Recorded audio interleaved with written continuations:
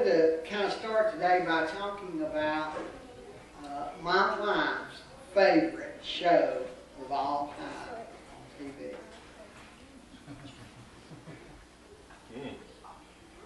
She has two favorites.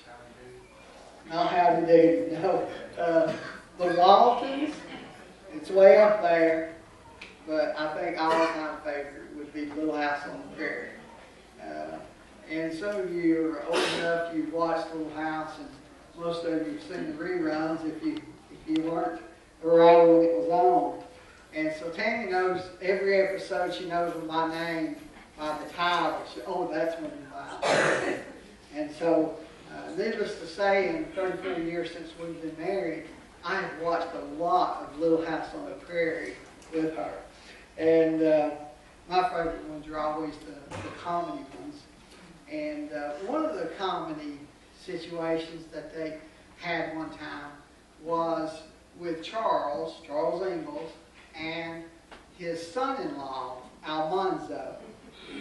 And Charles was always uh, wanting to be a little better than Almanzo, and he never wanted to, he wanted to keep that young man in his place and that sort of thing, although he loved him very much. And so, one particular episode was the episode between, uh, they had two wagon loads of freight that they had to take to Sleepy Eye. A nearby town, you would, they could go there and back in one day. And so they had two wagon loads of freight, and so uh, Almanzo insisted that they needed to take a shortcut. And he wanted to go uh, over the hill country, and Charles said, no, that'll take longer, let's just stay on the main road. And so they kind of kept talking about it, and so, so they developed a little wager and said, okay, you take the, you take the the shortcut, and I'm still on the road, and uh, uh, we'll see who gets there first. They were supposed to be there by lunch or 1 o'clock or something. Um, and uh, then we home. And so, uh, and so they developed a wager that the, the one that didn't get there first uh, would have to uh, take care of lunch. Well, as the story goes, Charles sets out on his traditional way and and thinking about Almanzo and wanting to beat him so bad and and he was thinking he's taking that shortcut, knowing that it would take longer, but what if he beat me? And so he gets up through the road and he decides to take a shortcut across the prairie and he winds up at a fence that he can't cross and a river and and so he has this really hard time. And so uh, Almanzo, while that's going on, he takes his wagon load and he goes up the hill country. where he can't get across one of the hills. So he has to unload part of the stuff, go up the hill, unload the stuff up there, come back down the hill, only to find out that the stuff he unloaded has been taken by somebody else. And so, anyway, things didn't work out very well for Alonzo either. And so, uh, as the story goes, uh, Charles gets to Sleepy Eye, I don't know, maybe 3 o'clock in the afternoon, and, and uh, Almanzo doesn't make it to about 5 o'clock, and this is where uh, Mary, Charles' daughter, already lived, and so they're going to have dinner together, and, and uh, so Charles didn't let on to Almanzo that he was late. He just knew he beat him.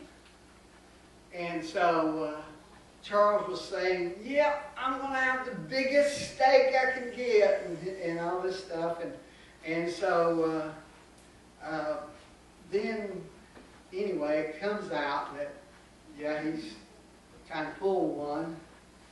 And so, uh, so Almanzo says, well, I'm going to get the biggest steak now.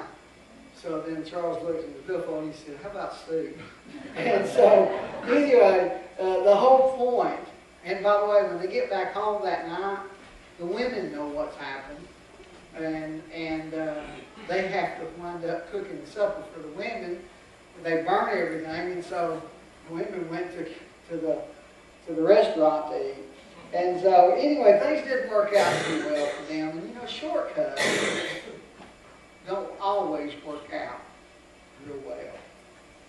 And uh, that's really what this message is about, is taking shortcuts when it comes to God.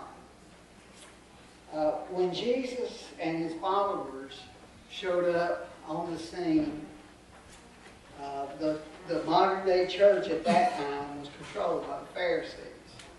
And uh, the Pharisees had perverted the whole picture of God's will, uh, making law keeping a shortcut for salvation. As long as you keep the law, you're good. It's kind of like saying, as long as you show up for church, you're good. You'll make it to heaven. Wasn't just the Ten Commandments that had been kept, but a whole mess of additional commandments and laws that they had created. In fact, there were 613 of them. Nobody could keep all these laws. But the Pharisees would, uh, uh, what happened is they kept the laws on the surface, the letter of the law, so to speak, but they missed the real intent, the real heart of the law or the rule that God had given them. And, the, and God's goal when He gave us the Ten Commandments and all the other commandments that He gave us in the Scripture, God's goal is that we know Him. That through these rules, we learn how to have a relationship with Him and how loving He really is.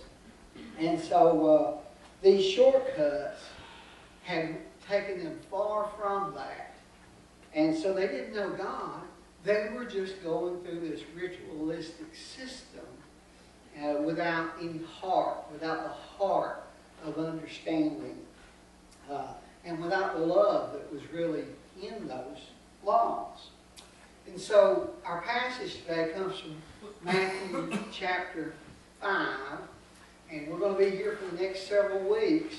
But today is kind of the, the preliminary message uh, as we talk about heart problems.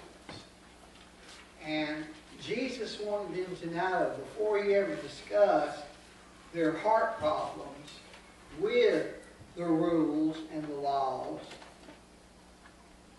a couple things. And so that's what I want to talk to you about today.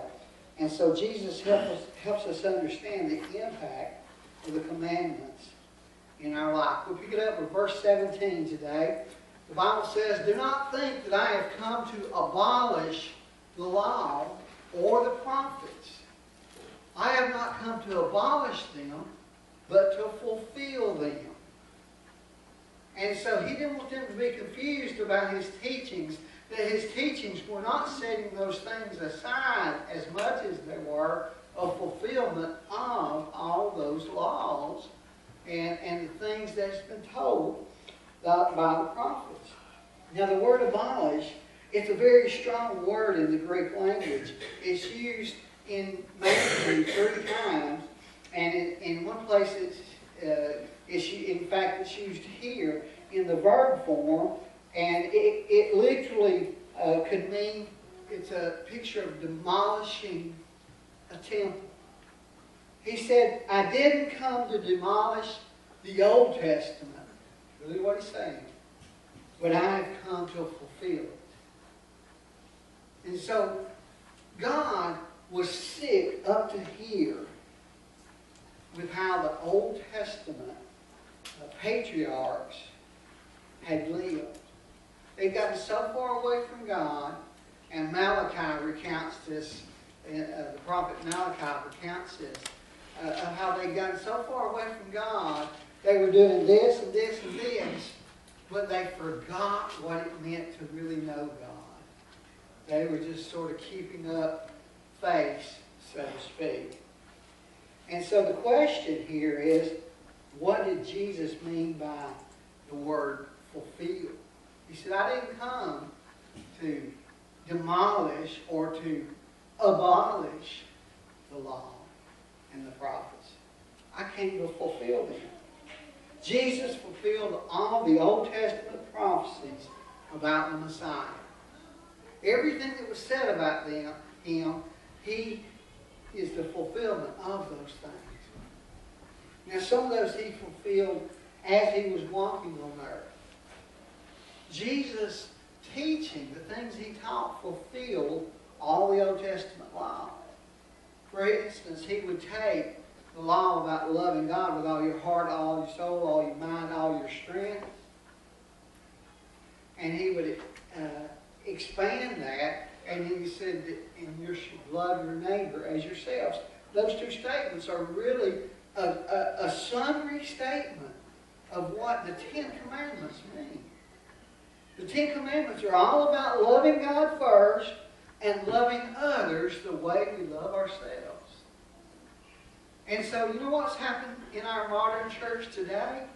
Is the Ten Commandments are forgotten.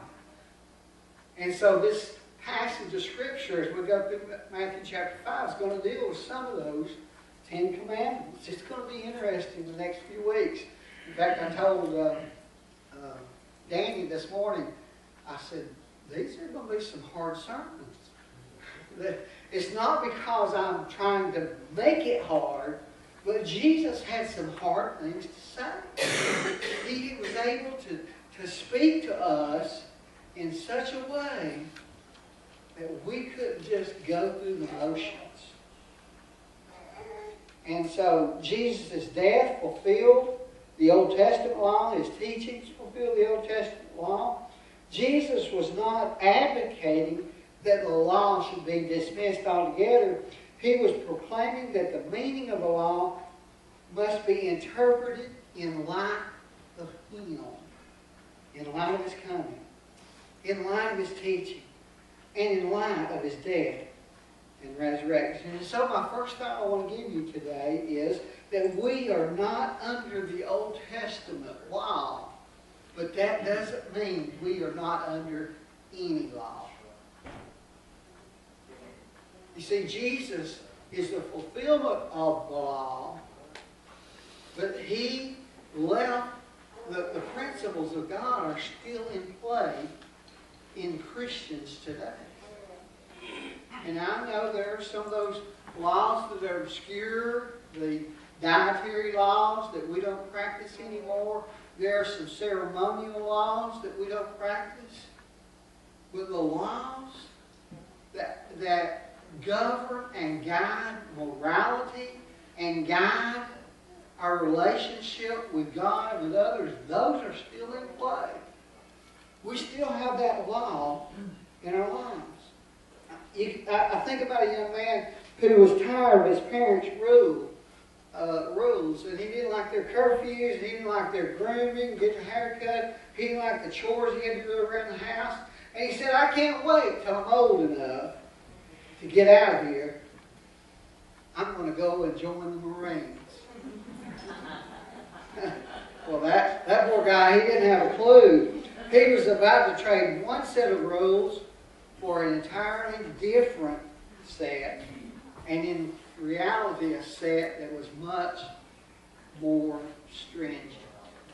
And I want you to know, church, the Old Testament rules are easier than the Jesus rules. But because we believe that He is our salvation, he gave us some teachings that amplify the Old Testament so that we can understand it. And so, you know, we have a hard time carrying out the law. We have a hard time when it comes to, hey, Jesus addresses this in this chapter later, uh, making things right with others before going to worship. Don't raise your hand, but how many of us have come to church to worship. And we've got hard and harsh feelings towards somebody else. We have a hard time with that. How many of us like that one where Jesus said if somebody hits you on one side of the face, give him the other? We have a hard time with that turning the cheek, don't we? The like this. We don't like that. Nobody's going to treat me that way. Nobody's going to do me that way. Well, Jesus had a higher standard that he wanted us to understand. We have a hard time, but like he says in, in uh, this chapter in verses 43 and 44, loving our enemies and praying for them. Yeah, I know you pray for them. You pray for God to get them. That's what, that's what we do. But Jesus taught us that we were to love our enemies and pray for them. That means to pray for their good. Pray for God's mercy. Pray for God's will in their life. Now, I know what we say. We say, oh, yes, but we're not Jesus. And we can't do all that. I mean, we're just us. That's true. But the reality is, when Jesus said those things, Jesus wasn't talking to Jesus. Who was Jesus talking to? Us. So when he made those statements, those are for us. That's for me. And so we are not under the Old Testament law, but that doesn't mean we don't have any laws. And so he goes on in verse 18 here, and he explains the duration or how long the laws will last. He says, For truly I say to you, until heaven and earth pass away, not one iota, not one dot will pass from the law until it is accomplished. Now, an iota and a dot those were the smallest grammatical pen marks in the language. The smallest grammatical marking. It would be like a comma and a period. A comma and apostrophe. And Jesus is saying that even those things are inspired by God. You see, Jesus is really making the, the most certain truth that your Bible that you hold in your hands or in your phone, that that is the inspired, inerrant, infallible Word of God to you. Somebody said it this way to me, or to uh, I heard somebody say it this way years and years ago. God loved me enough to give me the only book written that would tell me how to live forever. And, and, and God's Word is that important. He says not even a pin mark is going to pass away. He says until heaven and earth. That, that, that's a way of saying as long as the world lasts. Jesus said, as long as the world lasts, this law is in effect. It's qualified by the statement until all, until it is accomplished. Jesus accomplished the law, but for us, we've not gotten there. And I thank God that our salvation is not dependent upon keeping the law. It is by grace you've been saved through faith, and that is not of yourselves. It is the gift of God. It is not of works, because if it was of works, we would brag about it. Ephesians 2 8 9 tells us. I'm thankful for that. But the law teaches us about God. And Jesus is saying that he came to fulfill the law. Whatever was prophesied in the Old Testament has been or will be fulfilled by Jesus in his future kingdom. Do you know that Jesus is coming back?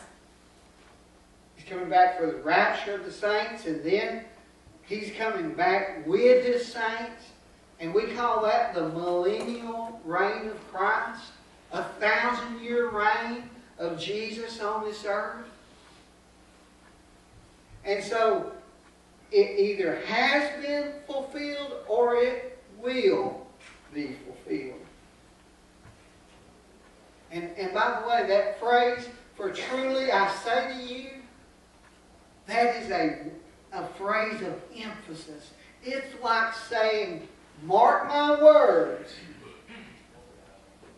You can take it to the bank. He is emphasizing this truth that the word will be, the word of the law will be fulfilled through him, and it's going to stand until it is fulfilled. That's interesting to me. But now we come to verse 19, and we really come to the heart of this message, and really what the rest of these uh, series that I've been with in chapter 5 that I've entitled Heart Problems. This, it, the, the real key is right here in verse 19. He stops talking about the law and the prophets and starts talking about the kingdom. Verse 19 says, Therefore, whoever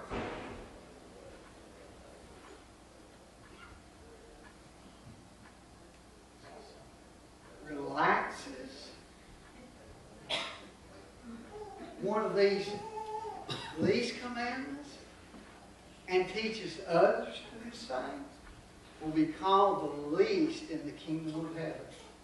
But whoever does them and teach them will be called great in the kingdom of heaven. You see, the commandments have not been abolished, but they have been abused. They have been ignored. They have been relaxed. We like a, we're a relaxed society today. And a lot of that I like. But when it comes to God's Word, we can't relax it. We can't make it more palatable. We can't ignore the parts we don't like. The commandments have been abused, ignored, relaxed, and misrepresented. And that brings me to my second thought today. We must follow the commandments of Jesus. No commandment is below or above another. They all have weight. We think that murder is worse than lying or stealing, don't we? We put them on a little measuring stick and say, this one's bad, this one's worse, and this is the worst of all. And we measure our own sins that way. We don't just, it's not just a, a general thing, it's personal. Yeah, I gossip a little, but I'm not like old sister so-and-so. Yeah, I, I stress the truth a little bit, but I ain't like so-and-so. You can't believe anything he says. Jesus, through these through his statements in this chapter, makes it clear that sin is sin. Amen. And sin violates who we are as the people of God. It makes us dirty. It makes us, we might keep every uh, thing except one. James tells us that we're a lawbreaker. James chapter 2, verse 10 says, For whoever keeps the whole law but fails in one point, I left the T off, has become guilty of all of it. So the truth is, there is none righteous, no, not one. I love that Romans 5, 8, 5, 8 or 5, 10? There's none righteous.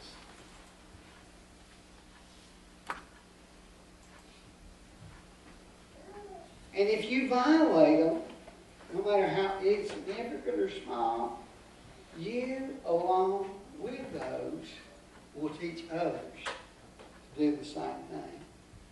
You say, oh no, I, I tell my kids not to do what I do. Well, is that really gonna, is that really what they're gonna do? Are they gonna do what you say, or are they gonna do what they see you do? So the warning is that there are no commandments that can be safely discarded. If you disregard one, you're going to suffer. You'll suffer personally. You'll just suffer morally. You'll suffer spiritual loss. You'll suffer mentally. You may suffer, may suffer physically. You'll suffer financial pain. You'll suffer a loss of fellowship with God. All those things are possible from breaking one little rule that Jesus gave us to live by. You see, the priests, they used to have uh, ten ribbons that they would tie on their robes to remind them of the Ten Commandments. These ribbons were all equal in length and quality. I wonder if it would be good for some of us today to have some ribbons tied on our clothes to remind us that that little lie is just as bad as murder.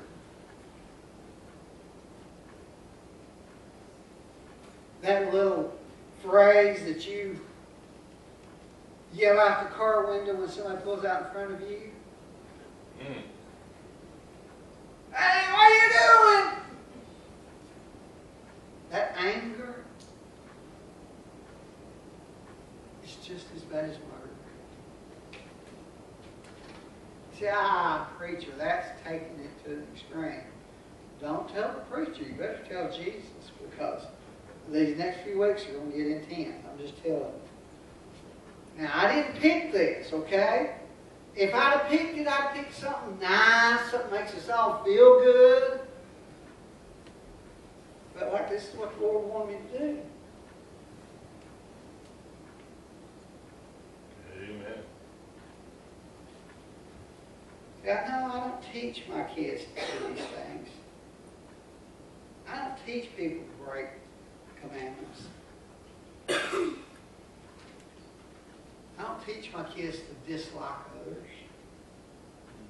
They just come by naturally, by how I act.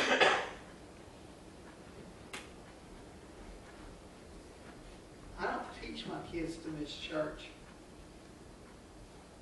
once in a while. I don't teach my kids that this is more important than worship. Are you sure? Are you sure? Because we live in a world today where we are saturated with comfort and fun and pleasure, and there's nothing wrong with having a little time off, but it becomes uh, every weekend, every other weekend kind of thing where you never know what's happening at God's house. And if you never know what's happening at God's house, then it's a pretty good sign that you're probably missing too much church. Amen. Amen. He said, Preacher, what are you being so mean to us for? I'm not being mean to. Jesus was never mean, and I'm not being mean. I'm just telling you what he's talking about here. And Jesus concludes this passage in verse 20 with really the key to the entire series. Look at verse 20 with me. For I tell you, Jesus says, listen to me. Mark my words. Unless your righteousness is more, exceeds the scribes and the Pharisees, who had 613 laws, you will never enter the kingdom of heaven. You know what he's saying? You can't be good enough on your own. Stop and feel the weight of those words. While Jesus was here on earth, the scribes and the Pharisees were considered to be the most holy people of the day. They were the most righteous people on earth. They were the clergy. They were the professional do-gooders. It's like Jesus was saying, unless you give more away than Mother Teresa, and are a greater evangelist than Billy Graham, and a great, greater social reformer than Martin Luther King, and more peaceable than Gandhi, and wiser than Confucius, and more holy than the Pope, you're not getting into heaven. That's like that's what he was saying in that day. These Pharisees, they prayed, they fasted, they tithed, they lived according to the rules. They were pretty good at obeying some of them, especially on the outside.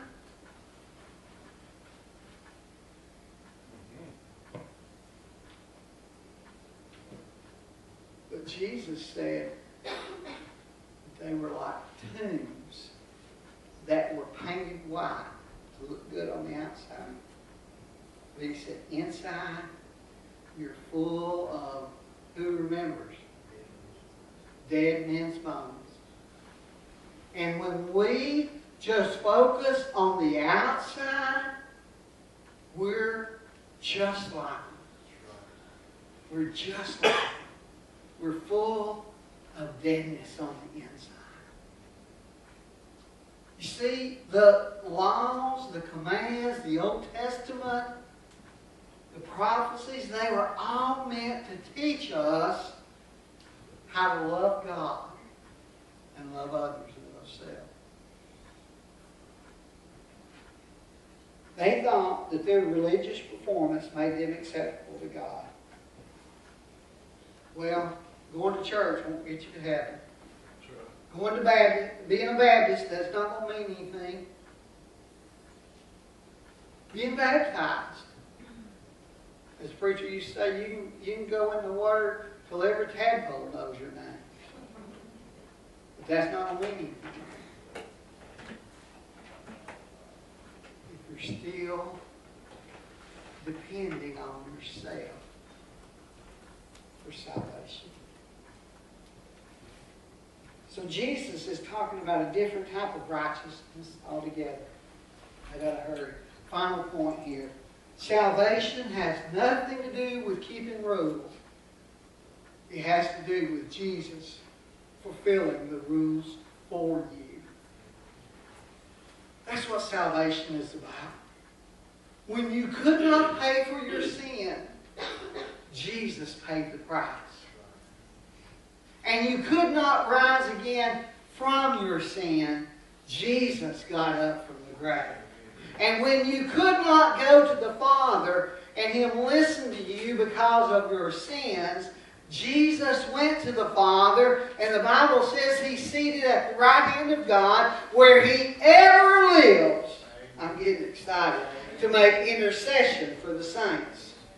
That means He takes our prayers to God. And He can do that because He is righteous. No person apart from Christ can produce the righteousness that God commands. Without God's kind of righteousness, righteousness, no one will ever enter the kingdom of heaven. Listen to what it says in Romans chapter 3, verse 20. Did I put that in, Scott? Put that up there for me. For by works of the law, no human being will be justified in his sight. Since through the law comes the knowledge of sin. It makes us aware of it. That's a good thing. But now the righteousness of God has been made manifested or has been made known apart from the law. Although the law and the prophets, they agree to it. They bear witness to it. The righteousness of God through faith in Jesus Christ for some of the people that believe. For the people who keep on the law, for all who believe. He says there's no distinction. Amen. That means man, woman, boy, girl, red, white, yellow. I don't care if they're green. If they've got a soul and can believe on Jesus, there is no distinction. That's a pretty good verse. Amen. Be close. A.J. Jacobs uh, was uh, the senior editor for Esquire magazine. He was also an agnostic. He, he, he didn't he wasn't an atheist. He just didn't didn't believe really in anything. He decided to spend the entire year trying to be completely obedient to every command in the Bible. He wrote a book in 2007 that was entitled The Year of Living Biblically. And this is what he says about it. One thing I learned was how much I sinned. He said that was a little disturbing. But once you start to pay attention to the amount that you lie and gossip and cover and even steal, he said, I was taken aback. And that was a real eye Mhm. Tell the truth, most of us sin so often and think so little about it. Our need for Jesus should compel us to live our lives in response to His grace.